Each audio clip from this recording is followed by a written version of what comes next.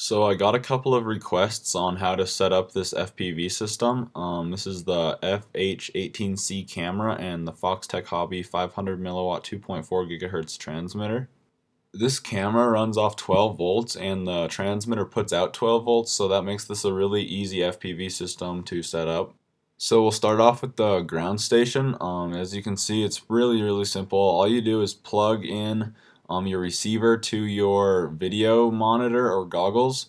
Um, as you can see the receiver comes with a little plug that's RCA connectors and you just need to get an RCA extender cable. Um, I have a 20 foot one and that just goes into your viewing screen or goggles. Um, I use such a long one because Dragon Link, the farther away Dragon Link is from my video receiver, um, the better the video is. So I bought a 20 foot one. So when I'm flying my plane, I'm really far away from my receiver.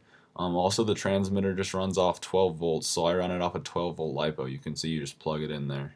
So here's a more in-depth look of what plugs um, go where on the transmitter. As you can see, it's just power, and then um, the bigger plug is for video and audio. So this transmitter has a really wide range of power supply, um, really wide range of voltage that it can take, and it has really good filtering capacity. So um, you can use this transmitter.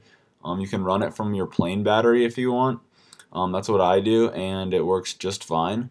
Um, basically, wiring wise, um, as you can see, the diagram says it all. You don't need the white or green wires. Those are just different audio frequencies. Um, but the black, red, and yellow wires just plug directly into your camera. Um, and I recommend soldering on a servo plug in the middle so you can unplug your camera and use it with different transmitters and stuff like that.